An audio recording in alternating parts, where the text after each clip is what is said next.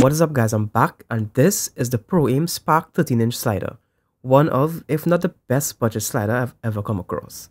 It's packing a really special feature which I'll get to in a little while, but to begin with, it comes with this really handy carrying case which is definitely a nice touch and makes it extremely easy to carry around. When coming to the slider itself, in terms of build quality and looks, this thing doesn't skim at all. It's made of aluminum and there's hardly any plastic to be found on the entire slider if any at all, and I personally love the mix of black with the red accents. It really gives it a premium look. This slider works on a belt-driven system, and there's this locking lever right here that allows you to actually use this while it's on your tripod all the time, and just unlock it whenever you need to pull off a sliding shot or something really quickly, for example in wedding scenarios.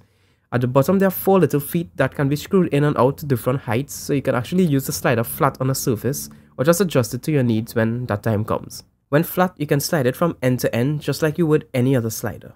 However, where this slider stands out from the rest is when you throw it on a tripod. Once you get it secured, this slider literally doubles in length. This is seriously handy for anyone who knows the struggle of carrying around a huge slider to get that sliding range, and the fact that it's pretty small, yet it packs this huge sliding range is what makes it stand out from the other sliders in this price range. I've used the sliders in weddings, car shoots, and much more, and I must say, it takes a little while to get the motion down properly, but once you do, this thing is really smooth and amazing.